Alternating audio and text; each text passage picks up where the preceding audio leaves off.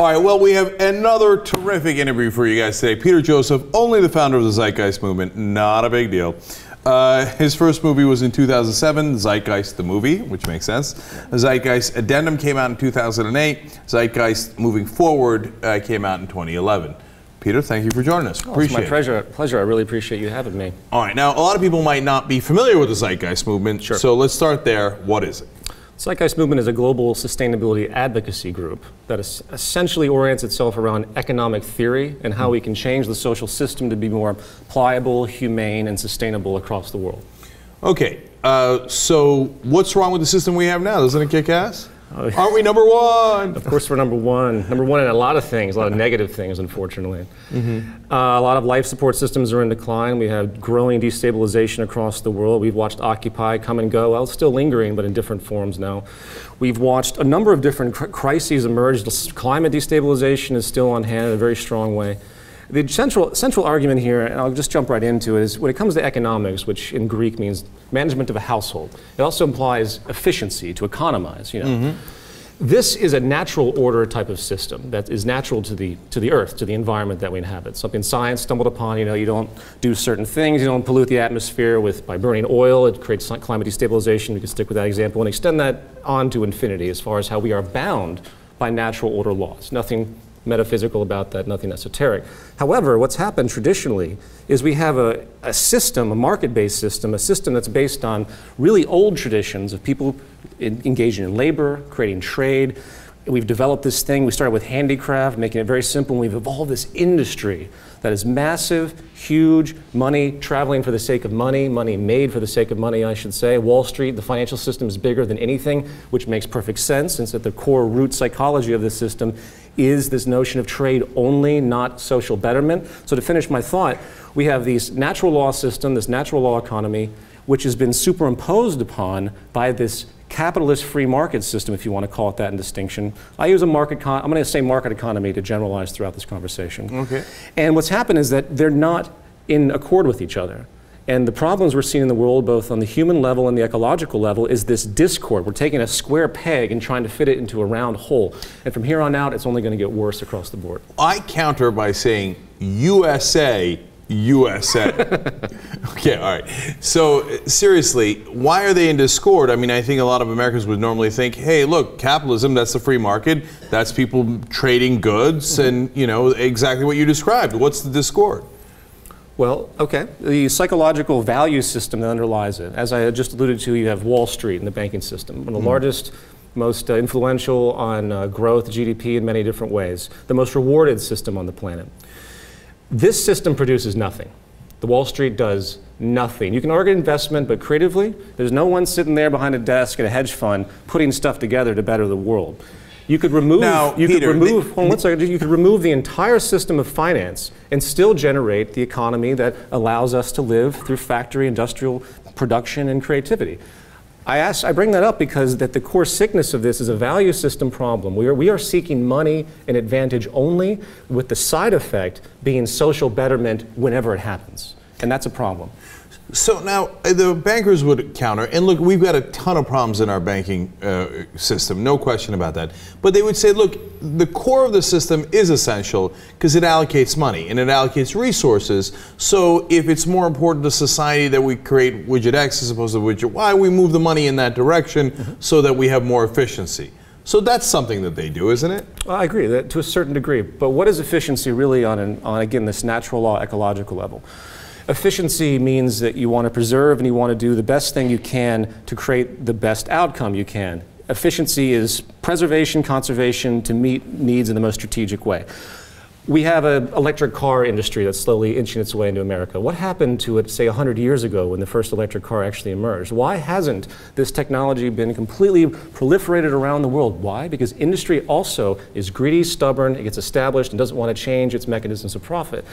Across the board, and this is one of the greatest things we talk about in the movement, we are paralyzed by this value ethic. And now I'm not saying that the system wasn't great a long time ago. In the handicraft industry, we had a simple type of post-feudalism, mercantilism kind of world where people were, everyone was a producer and everyone was trading. That's beautiful in and of itself. But technology and everything that's happened around us has completely stifled this to the extent that it's no longer applicable in its merit, and we are evolving out of it. And there's no better word to use than evolution. I don't put down capitalism and the market economy because it was always bad. I say it's no longer relevant, especially in a world where we can create an abundance. But I want to get to the core of the problem. So, you know, I understand that uh, we've got great inefficiencies now. You mentioned the electric car. You know, there's a great movie Who Killed the Electric Car, and I get why the, co- the companies that are in the oil business or that do traditional cars that aren't energy cars want to kill the electric car because they want to protect their market share and they want to kill the trolleys and have everybody drive cars. I understand that, Sure. and they pervert the market in that sense. So, but that's so.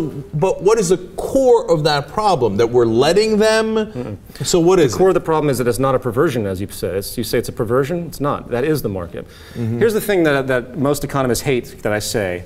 The market is as free as ever. And economists that are in the free market minds, they go, whoa, what are you talking about? The economy is not free. We have protectionism, we have trade tariffs, we have all this taxation, we have all this coercion by government. And I say, no.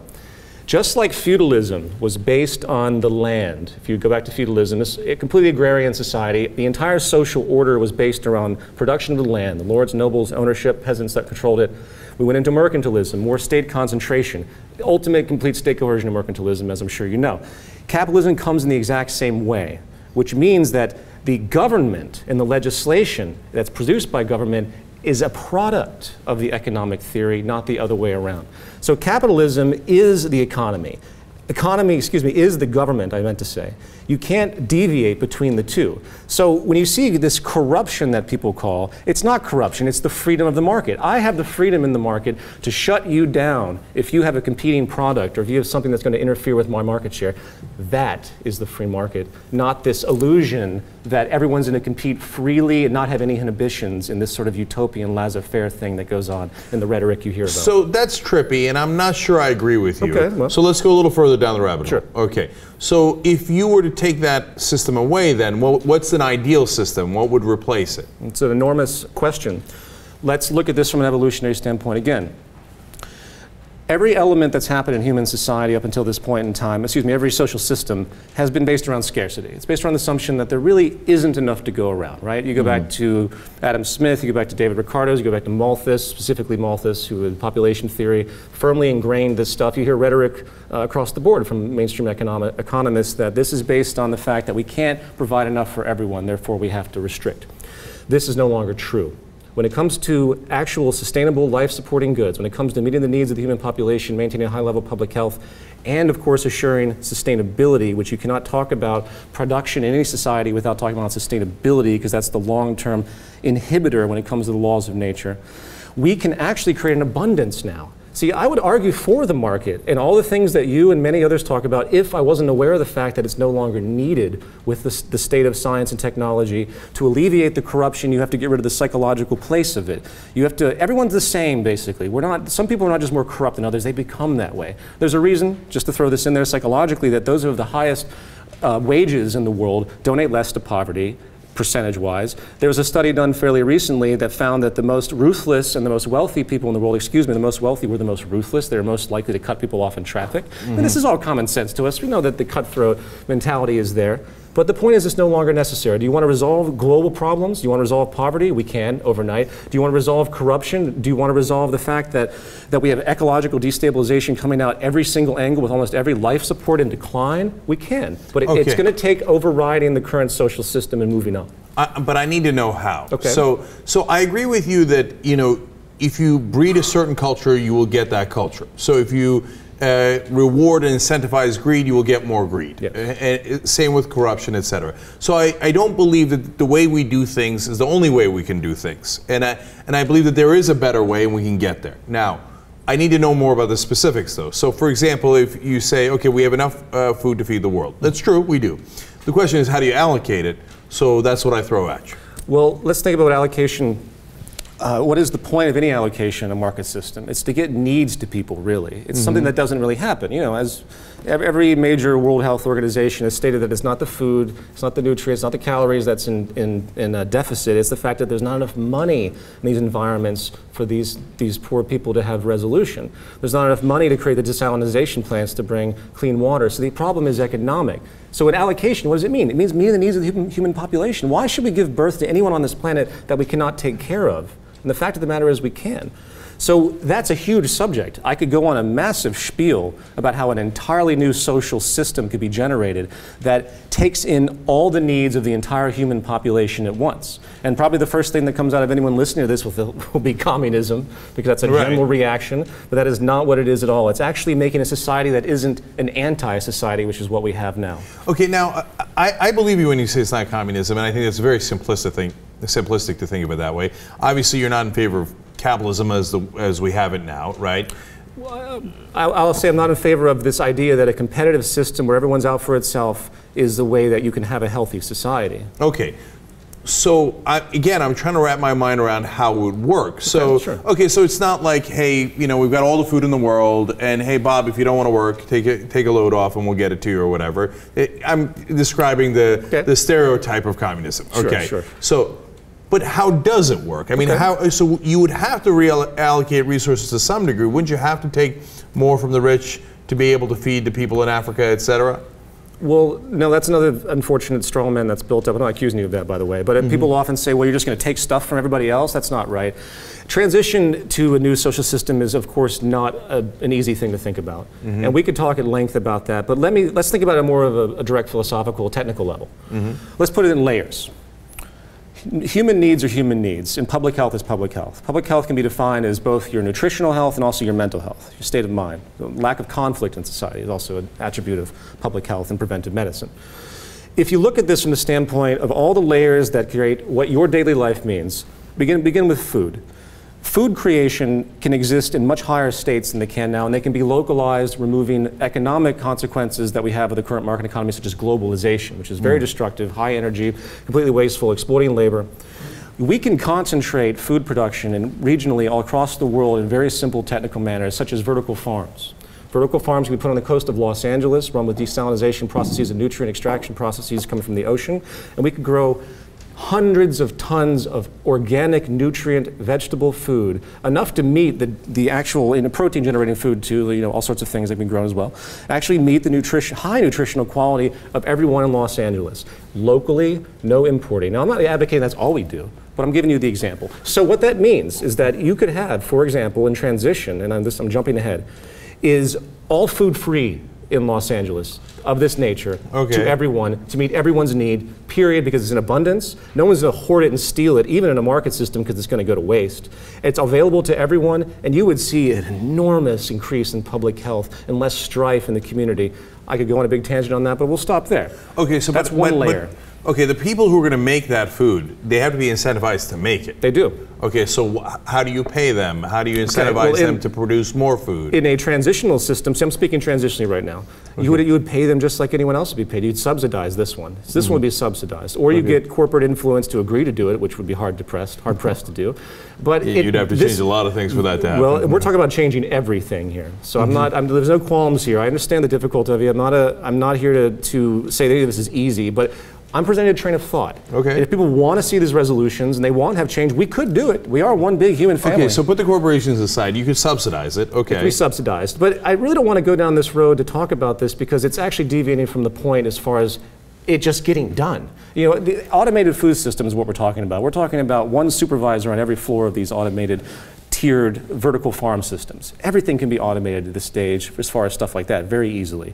This is powerful because you have supervisors get paid nominally what in concert as far as the whole industry, excuse me, they get paid perfectly fine if, again, we're talking about a market economy and I usually don't think this way. They can be paid perfectly sufficiently, uh, especially given the fact that there's not a fraction of the employees that would typically be involved in industrial production as we know it today as far as food resources. Again, here's one problem though. I don't want to go this angle because it's really complicated to include the market economy. That's why I advocate the removal of it.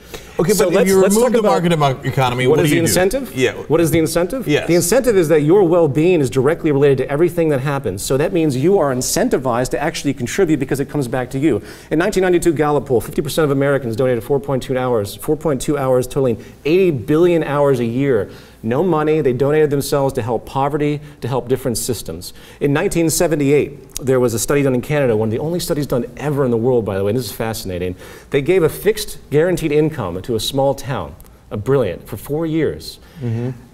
Everyone, more people graduated from high school, more people worked. The happiness rate was off the chart. People could take care of their families. These are people that came from more destitute, or destitute origins. It was an incredible improvement. So wait, everybody got the same salary? Everyone was given the same monthly rate of uh-huh. salary. Yes. And then they could do whatever they wanted. And they they uh, they kept working. They went to jobs that employed them. This was, this a particularly unique circumstance. I can send you the article if you'd like to read uh-huh. it. But it was, but it, what it goes to show is this incentive fallacy we have that no one's going to do anything unless there's a monetary reward is short-sighted. People will do tons of things if they think it comes back and helps them. And even more so, the great secret of humanity: people love to do things that help others. They really do. So you think that they would have started Nike just the same? No. And and would have uh, expanded Nike just the same if they didn't have the profit motive? Because that is a completely different uh, abstract notion that seeks profit. My, Nike, the entire concept of, say, a shoe has to be put in question. You don't design a shoe to be advertised through celebrities to sell it, to develop market share and a style and a brand. In the future, if we were to move into this type of sanity, people would think of shoes in the most ergonomic sense. It would be designed to last, be designed to be most beneficial and healthy for you. We would lose a lot of the stylistic things. All corporate facades are built upon the interest to sell you things things with a certain degree of durability, with a certain degree of health involved. But isn't but that that's part secondary? Of, but isn't that part of human nature? People want style. Oh, well, I think style can come in many different ways, though. People can appreciate each other without the, the ornament and all the nonsense. Go back 60 years.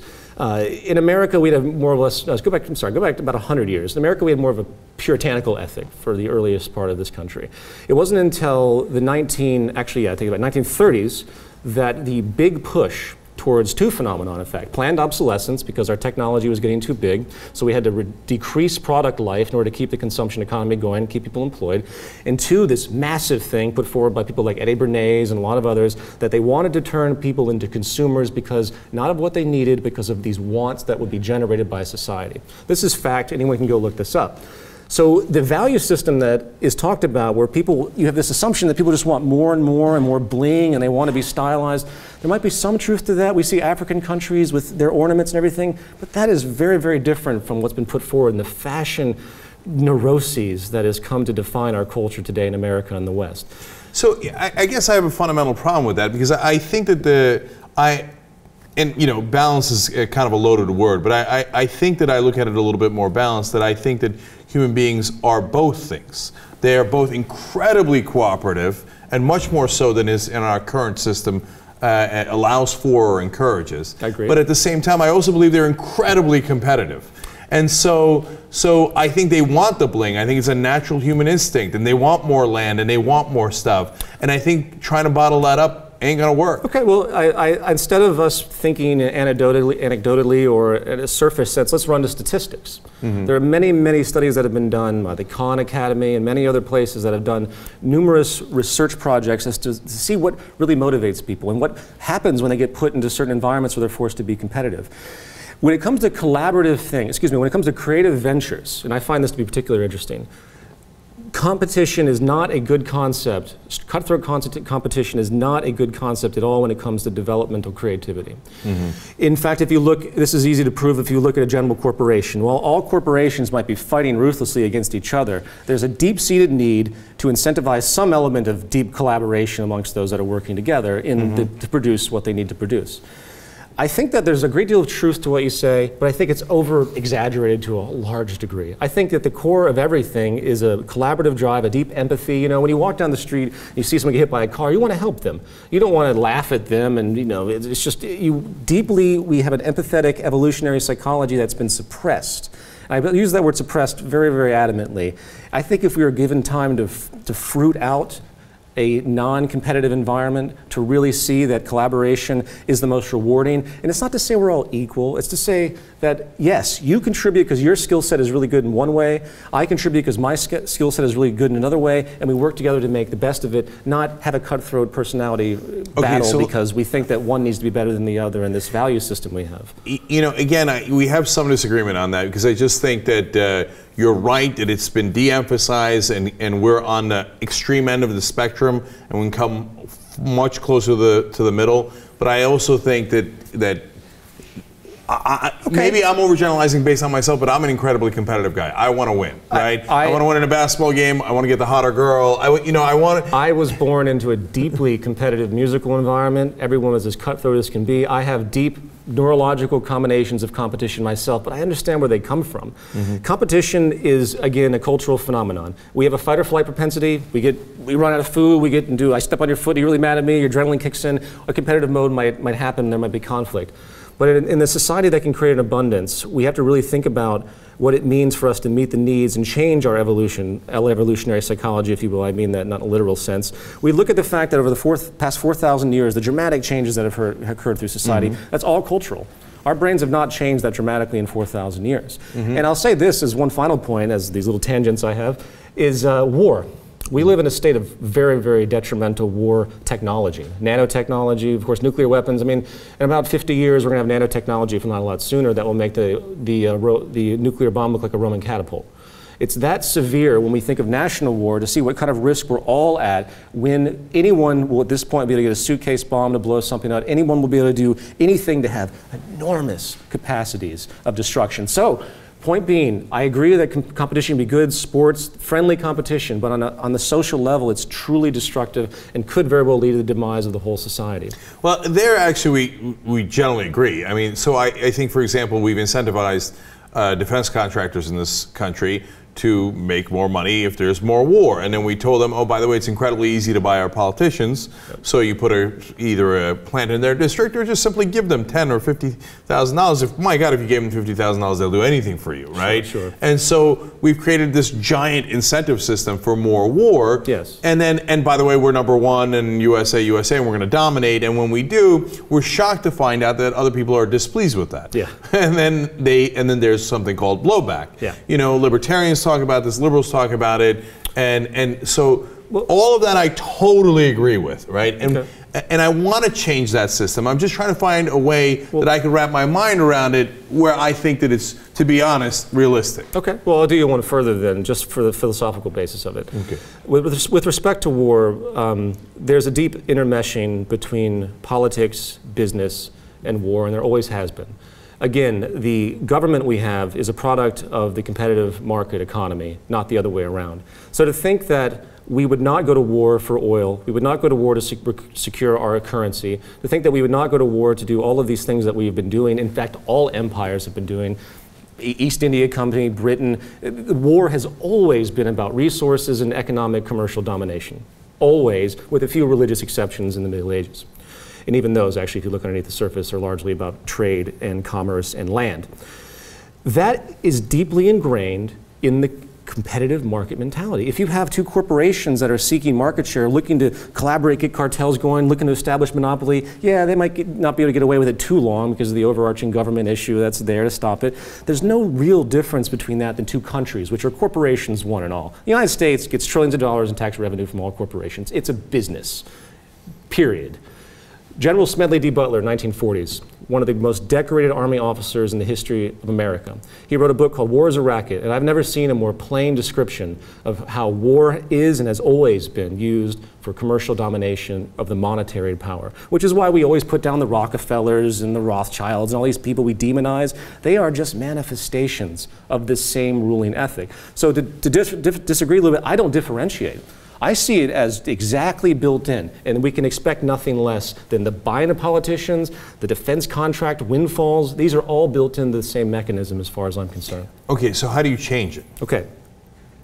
How do you change a system that is inherently corrupt? How do you change a system, move from something where everyone has been so deeply conditioned into these values and ethics to the fact that it's glamorized now, into something that is actually sustainable and meeting the needs of the human population in an abundance? Transition, again, is the most complicated thing you can talk about. But you have to change, which is what the Zeitgeist movement does, the value systems first. You have to get people to realize the underlying problem and get them to actually understand the solution. So when you talk about change, literally, it's a change of the human being. It's a change of you and I to realize that we might be a part of this system. We might have to engage it. I have to sell movies. I have to engage in the evil capitalist stuff, and everyone says I'm a hypocrite for that. Mm -hmm. But that's that's me living in the system I was born into, trying to work through it we have to deviate and create plans to enable an abundance, to enable these, these elements that would comprise the characteristics of the new social system in the future, which would again reward these, these attributes.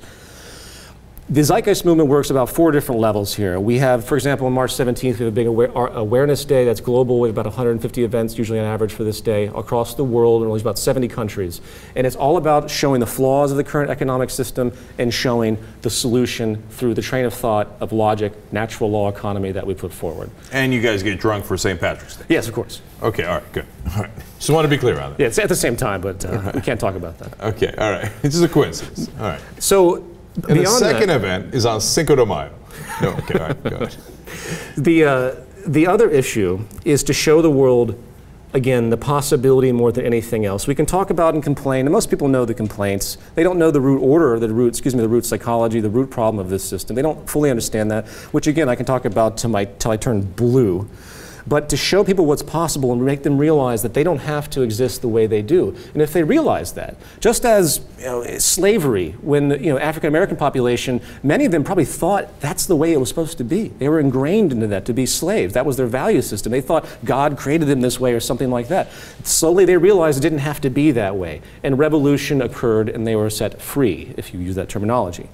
This can happen the exact same way. We can free ourselves from this economic system if we change our minds and start to create institutions that interfere with the system a little bit, mm-hmm. in meaning that there are transitional systems that can be put forward that don't use money.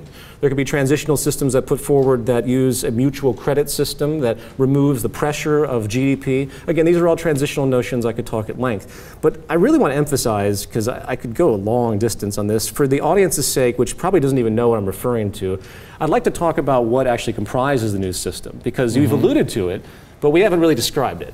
Okay. So let's think about this in layers public health is really the goal of it's the success of society is public health right? It doesn't matter how much stuff we have. Even mm-hmm. if everyone in the world had a 50 room mansion and two jets parked in the front lawn that doesn't mean they're happy. Mm-hmm. but it would be kind of awesome.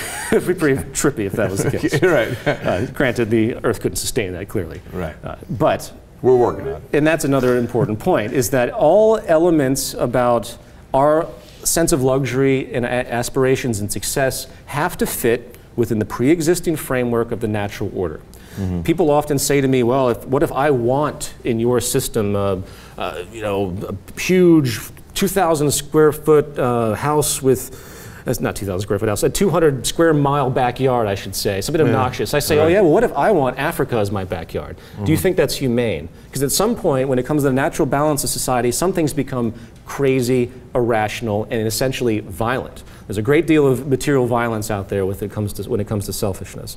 So, with that framework in mind, you have to balance human needs and our aspirations and sense of success and material abundance with the, the inherent levels of restriction in the natural world, the carrying capacity of the earth. We want to coexist or do we want to fight? If we want to coexist, then we have to change our patterns. Seven billion people on this planet, nine billion people in a couple of decades, easy. Uh, that's due to lack of education, by the way.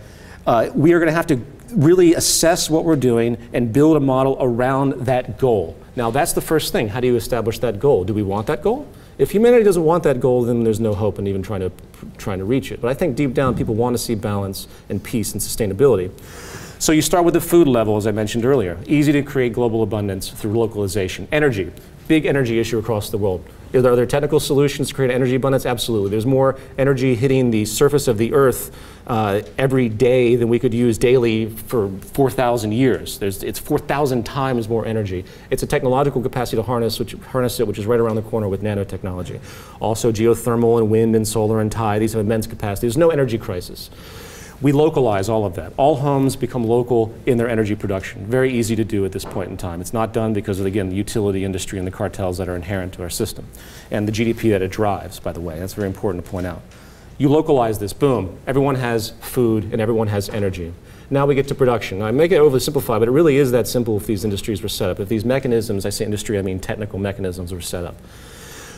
Then you move on to actual production. Production is really important, and of course, this relates to what I just described. Production, you have to get a sense of what the Earth has. Right now, all the corporations in the world that hoard resources for their own profit gain, they keep it secret what's available. We don't really know how much oil there is. We don't really know how many diamonds or how much copper or how much aluminum there really is. There have been surveys that have been made, but it's, it's private secrets. It's the corporate right to have those secrets. We have to assess this, and we have to figure out exactly what we have.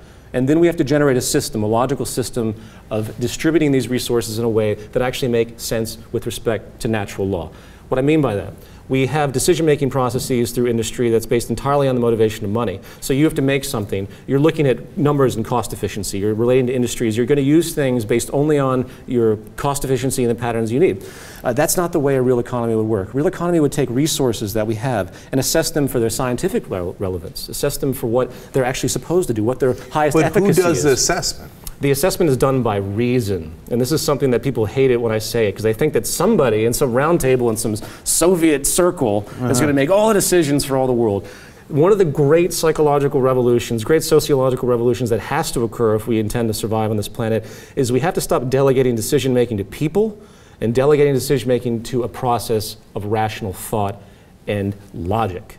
This is completely devoid in the world. Let me, let me, let me express this because I know it's a difficult thing to just throw out there. We can calculate society now. Science has only been with us really in application for about 600 years. We can calculate what the greatest conductor of conducting metal is and why it should be used in certain forms and not in others. We can apply this type of reasoning to everything. And I don't mean some utopianistic thing where suddenly there's a matrix and everything's calculated. That's an ideal. That probably isn't reality, at least not now. But that's the way we should approach our thought process. We have to arrive at conclusions, not base them on traditional notions or pre existing systems. So when you take that frame of reference, it completely shatters the political system, it shatters the business system as we know it, it shatters this notion of free choice. And I say that in a very subtle way because when it comes down to it, we are not free.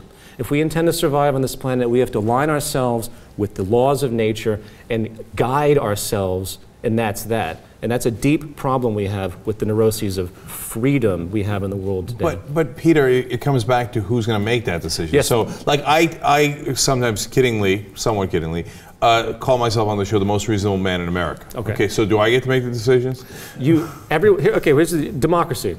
Okay. What is the root of democracy? Democracy means at the root. I don't mean a Greek root, but democracy in and of itself implies of finding a way to get people to work together and share the world and share decision-making processes. Right. Right. Yep. Okay. Well, a democracy could be that everyone in the world decides to kill themselves. Well, then that's their choice to do so. Yep. It could be that everyone in the world decides to enslave a whole group of people. That's fine. It could be decided that everyone in the world, in their ignorance, decides to destroy the whole planet because of bad methods, because they're not willing to align themselves with natural laws such as, say, climate destabilization, depletion, all the other things that are happening in the world today.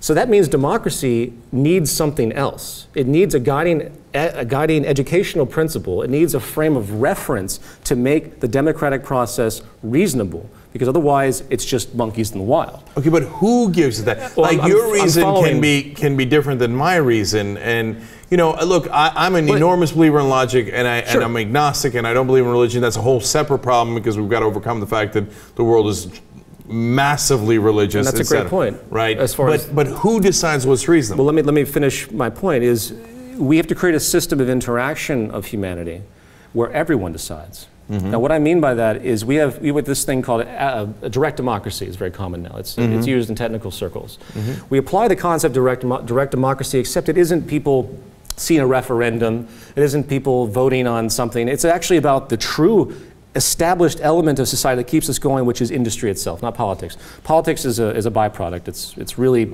at its deepest core, it's really a, a negative retroaction of, a, of an economic system that's so inefficient, it needs these people up here to control everything in their dictatorial way.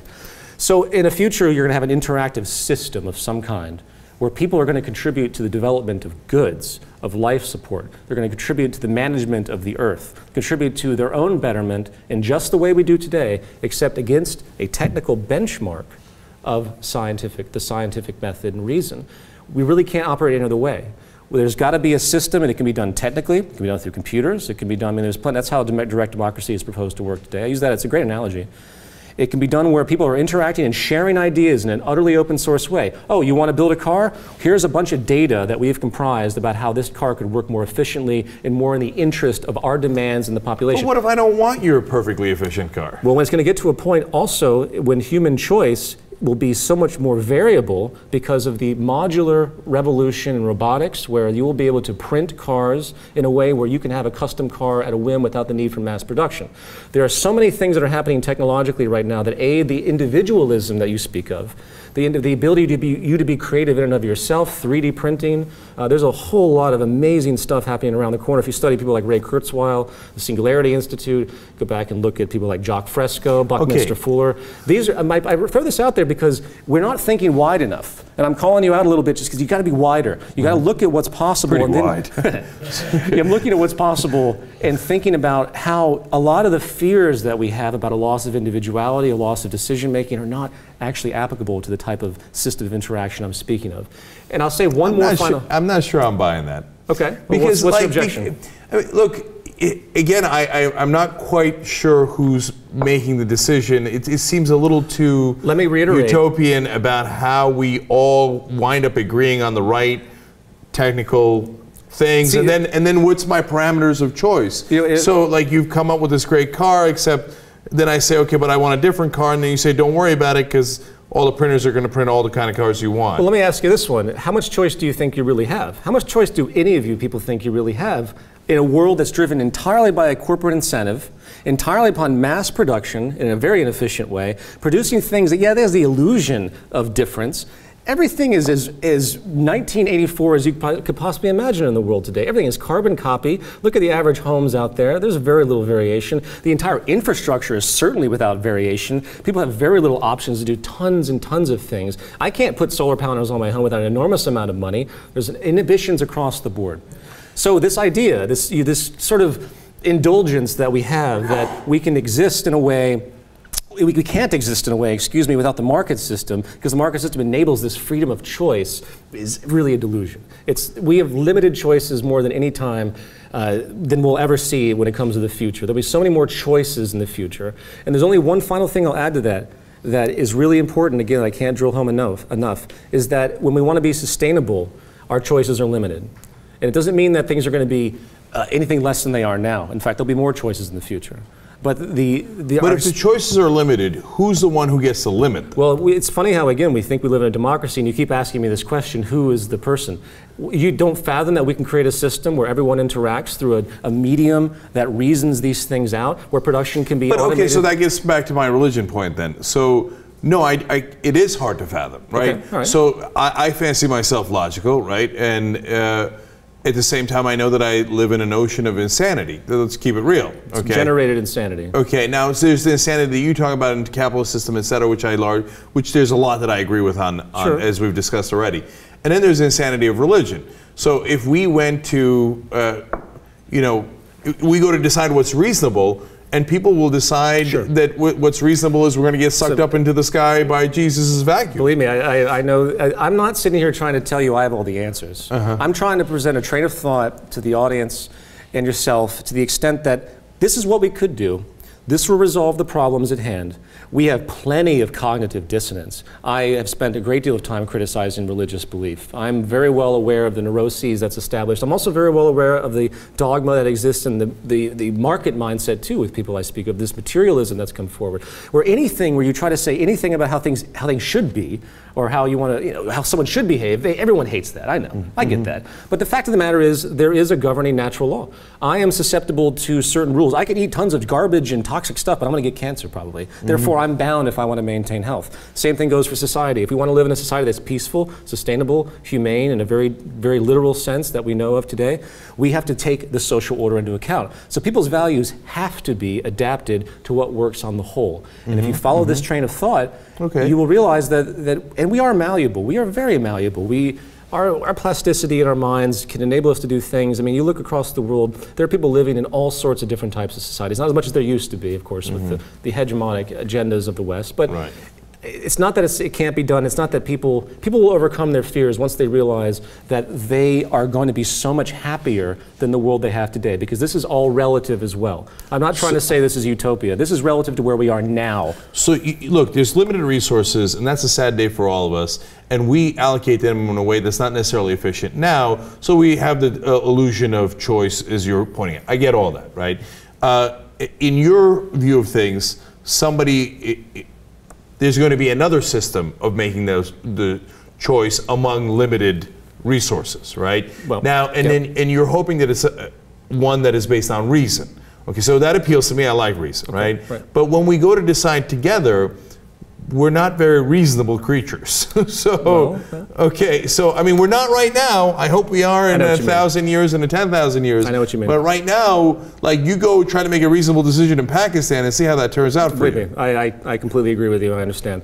Like, once again, I'm not trying to d- deny that.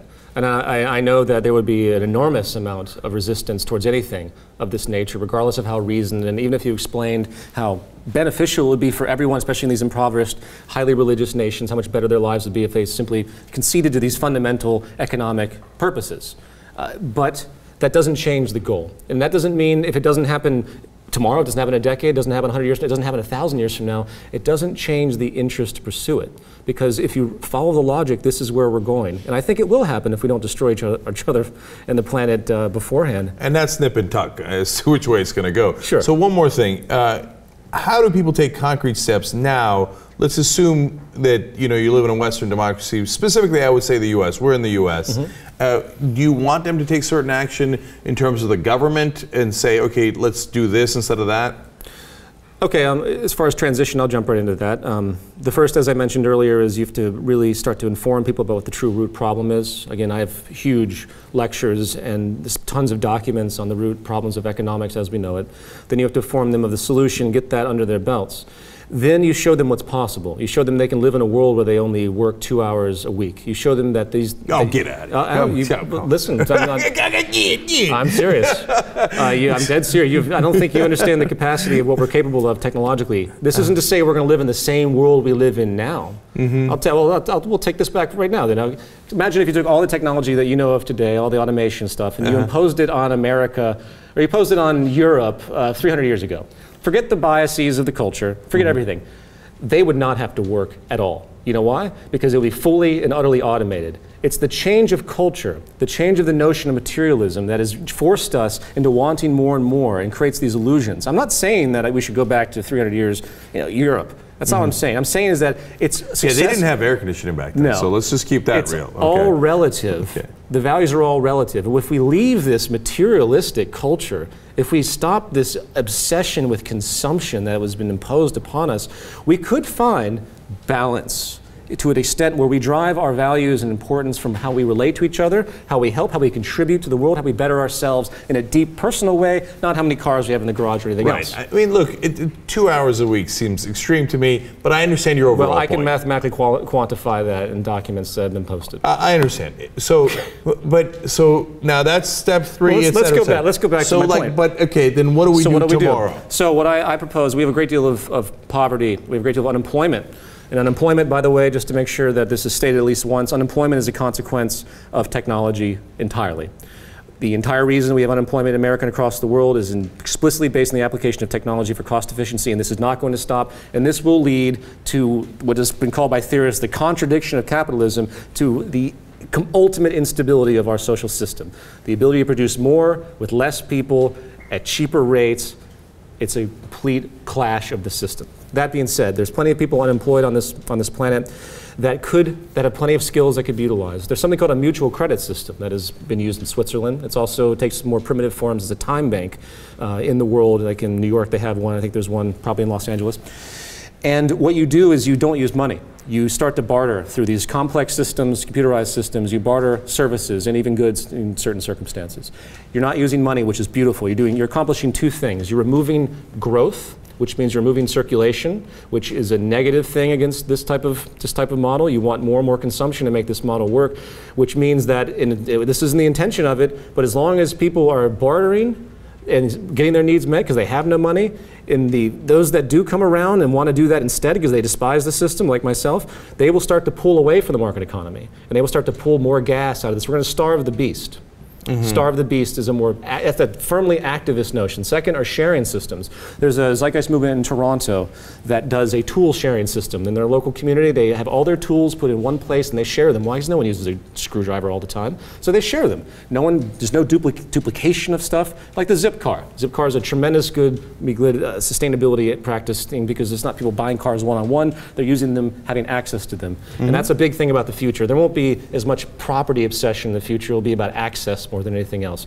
Extremely important for sustainability of the species given population growth. Right. So that's those are two attributes that will help pull some wind out of this system and help those that are really suffering. And then we move on to larger order mandates that will move against the government to demand certain facilities be put in place regarding energy, regarding food production, and this this word that people hate more than anything else, the socialization of certain aspects of our lives. Dr. Martin Luther King Jr. advocated a guaranteed income, and he was killed soon after. I'm not saying that was why, but he, mm-hmm. w- he went against the economic system just like he went against racism. You know why? Because we live in a state of pure economic racism. It takes the form of classism now. It doesn't matter what your, if your, your gender or race is, it matters what your place is on the social hierarchy, and they're going to keep you in those positions because it's subservience oriented, it's exploitation across the board. This is important. So these mandates will be pushed forward in the same type of rhetoric. And through combination of these things, and the ultimate issue really is education, I believe that there's going to be a breakdown in combination as well because this system is not going to survive. I mean, we're going to keep, you're, mark my words, you're going to see more unemployment, so it's inevitable. You're going to see more poverty of the ultimate tier. More employment or unemployment? Unemployment, Unemployment, excuse me. right. Uh, You're going to see more climate destabilization because the faster this system st- pulls itself and tightens the noose, the corporations are going to get more and more lax and more and more ruthless. Same with the politicians. And the worst thing that I fear more than anything else is another world war, which has been inching in certain ways for a long time. There's a lot I agree with uh, uh, in what you just described. Okay, before we leave though, I, I want to ask you about how you got here. So, w- where did you grow up, and how did all of this come about? Sure, I, I grew up in North Carolina, a, a small, a small, more or less an urban town, but for North Carolina, it isn't particularly urban. Uh, my father is a mailman, and my mother, well, they're retired now, is a social worker. And I actually I pull a lot of my views from my mother's work in social work. She worked many different elements, uh, but I've never seen such deprivation in the more rural areas of the world. A, a really a case example of what poverty does to people in the generation of neuroses, sexual abuse, gangs. Uh, it's really a, a microcosm uh, I should say, a macrocosm really of what's happening across the world.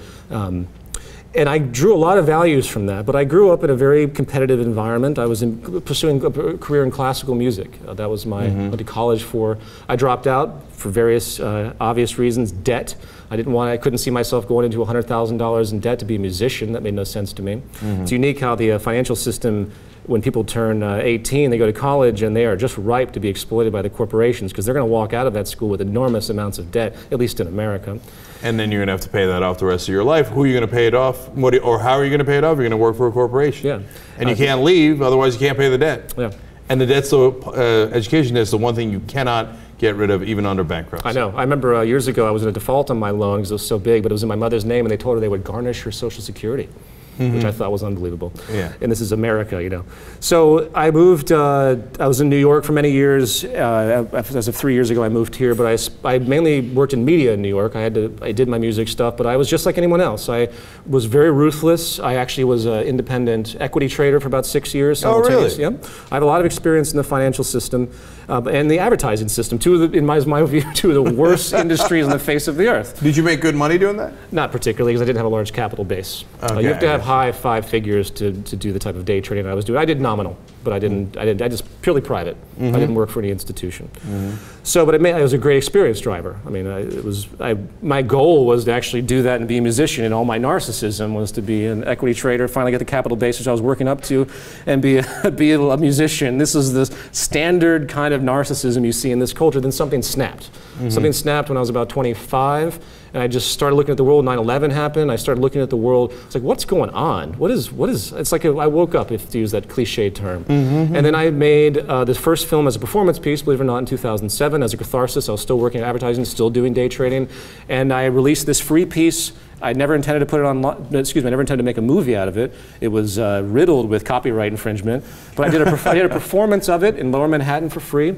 And after it was done, I threw the, the media on it because it was a performance piece. I literally performed the piece uh, with a percussion uh, arrangement.